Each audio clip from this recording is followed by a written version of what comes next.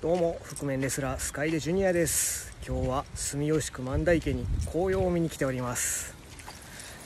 見てこれ綺麗ですね。いいですね。四季のある日本。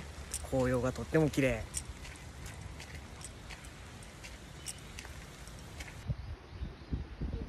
いやいい景色を見て気分が高まりますね。あかん。